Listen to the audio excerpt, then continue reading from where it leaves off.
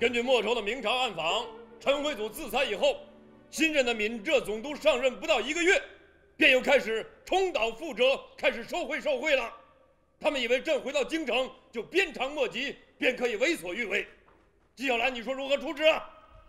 一个字，斩！哎，不不不不不不，皇上，纪大人矫枉过正，绝非良策。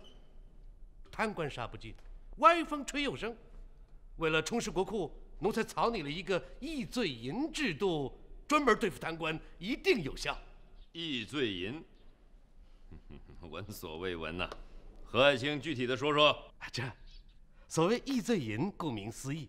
就是针对督府等地方大员，凡有过失罪责，依其罪而罚其银。比如渎职、无能、失察、亏空，乃至贪污受贿，依其罪行大小，令其自掏银两，减其刑责。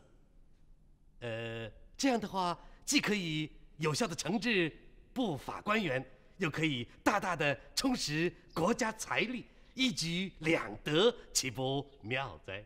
嗯哼，何爱卿，再说的具体点儿。凡我朝廷命官，依其官阶大小、收入多少定下标准，多则数十万两，少则数万两，由军机处设置统一机构专门管理。收入的银两嘛，可以划归内务府，呃，有一部分也可以拨给地方。用以水利、灌溉、防洪、抗旱等工程之用，他们取之于民，咱们用之于民，何乐而不为啊？好，这个办法好。诸位还有什么意见吗？何大人巧具匠心，这个主意太好了。臣恭请圣上立即颁布实行。呃。何大人良师良相，想出来的办法前所未有，真乃后世之楷模呀！对对对，何大人真是后世的楷模。纪晓岚，臣在。你闭着眼睛是上朝啊，还是坐禅呢？臣在上朝，不是在坐禅。今天没听到你的议论，非常反常啊。臣刚才听到何大人一番高明议论，获得满殿喝彩之声。臣是赞同也不是，不赞同也不成，故而无话可说，只好闭上眼睛。那你不说话，就是赞同喽？臣不敢苟同。好一个不敢苟同！那你一定有更好的办法嘞？啊？哎，即便是你不赞成我的办法，那请你说出一个理由来。如果你一个理由都讲不出来，这种态度面对皇上，可以治你一个大不敬之罪。非说不可吗？非说不可。皇上，非说不可吗？一定要说清楚。好，既然皇上有旨，一定要说清楚，那就恕臣直言了。何大人这个办法，看似有严惩之效，实则是祸国殃民、流害百世。纪晓岚，你不要血口喷人。和珅，让人讲话。皇上。何大人所说的严惩，那实际上就是包庇纵容，使那些贪官污吏更加放心大胆的去为非作歹啊！假使督府有罪，本应该停职听审，那该充军就充军，该杀头就杀头，否则为官者不尊，上行下效，如何去管束自己的部属呢？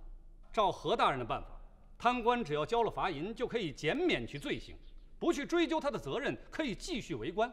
那这些贪官为了弥补损失，就会变本加厉的大把去搂钱，顶多不过再交一次罚银而已嘛。皇上，枉法庇护，谈何清廉呢？二十三年前，皇上曾下旨，着将斩、绞、缓决各犯纳赎之力永行停止；同年又下谕，限内退赃减等之力着永行停止。皇上以金钱为轻，以刑罚为重，果断命令废除了旧律。近几年来，皇上又多次重申此令。何大人呢？何大人，交了一罪银就可以减免其罪行，这与退赃减等有何区别呢？啊！你居然把皇上明令永行禁止的事在这再一次提出来，这不是置武皇于言而无信之不义之地步吗？和珅，你可知罪呀、皇上，奴才知罪了，奴才一时操之过急，竟忘了我朝先例。此事不义了，退朝。纪晓岚，随朕来。遵旨。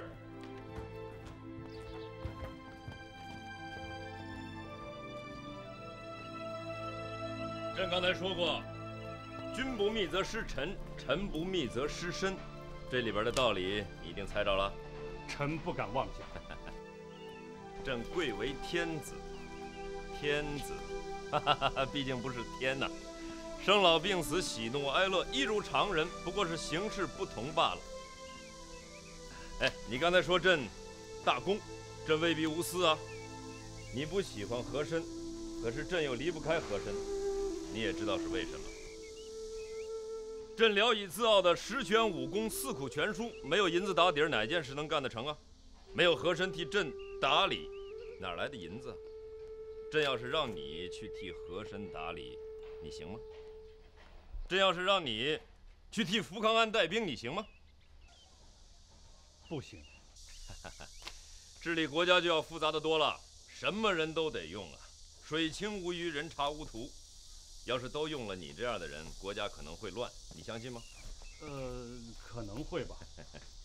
坐而论道，所争无非一个理字，到现在还争不清楚。做事就要复杂的多喽。明知道是好事，不到时机不能做；明知道是坏事，一时之间，当忍还得忍呐、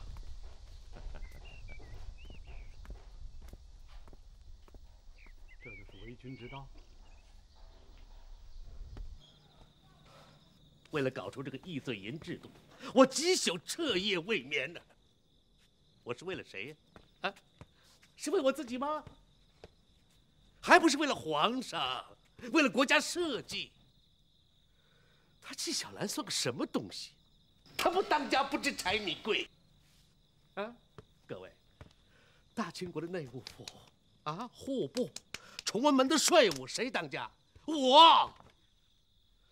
现在内务府的开支日渐增加，我怎么办呢？啊，我只能琢磨出这么个法子来。可是生生的让纪晓岚给搅了。不狠狠整治他不行啊！早就该收拾他了，就是抓不住机会。我当然知道，我知道。纪晓岚一天不除，我没有一天好日子过。哼，我有办法的。您有什么办法？我设了个钓饵，他肯定得上钩。什么钓饵？天机不可泄露。